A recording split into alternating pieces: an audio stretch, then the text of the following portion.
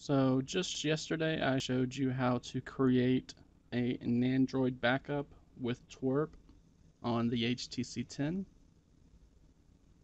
And today I'm going to walk you through how to restore that backup.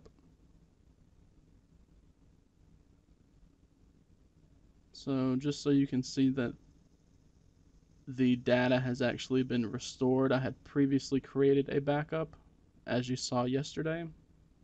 So now I'm going to move these two icons up. And then once I restore and boot back into Android, you will see they will move back down because they were in the lower position when I created that backup.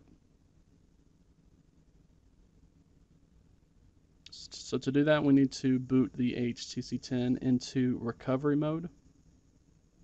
I use a little app that makes it easier, but it requires root access. If you don't have root or if you want to do it the old-fashioned way, you can check the link in the description below this video and I will have links to how to boot into download mode and fast boot mode and then recovery mode all linked in the full tutorial.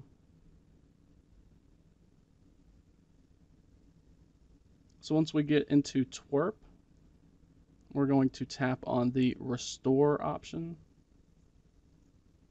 You can see we have the restore that was created. Usually you will want to make sure all partitions are highlighted.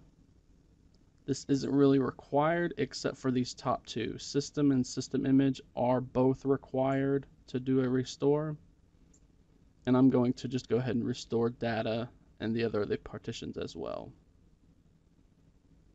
So once you have tapped on the Nandroid backup that you want to restore from, all you have to do is swipe to the right and it will begin the process. As you can see, TWRP is going to wipe the partition before it restores that partition and it's going to make sure it's using the proper file system as well.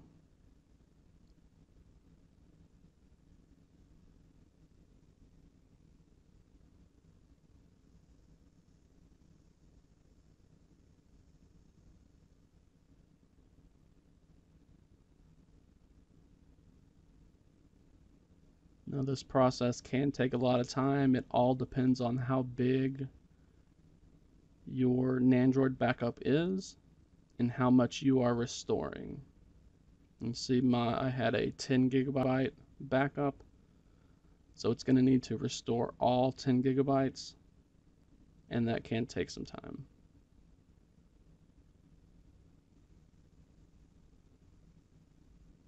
And as you can see, as it's finishing up, it's doing the same thing to all the other partitions as it did for system.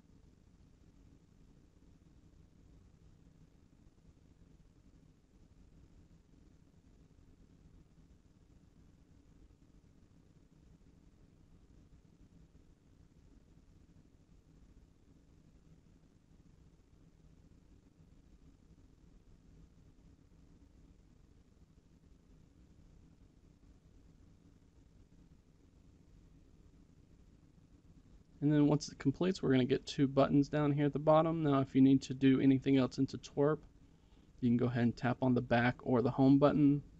But if you're done with your restore, then you can simply tap on the reboot system button. You'll see the HTC 10 reboot. And then it will go through the typical boot sequence to boot you right back into Android.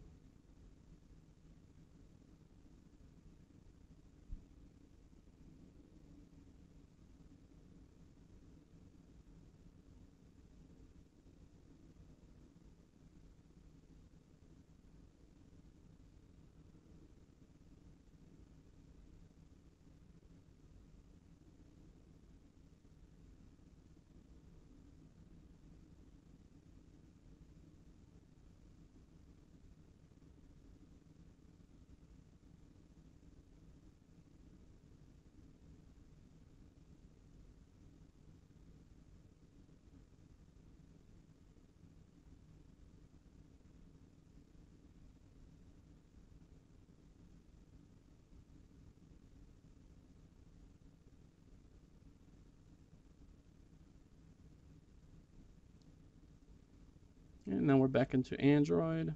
And as you can see, these two icons have been shifted back down to the lower part of the home screen. So you can see that it actually did restore to the point at which the backup was actually created.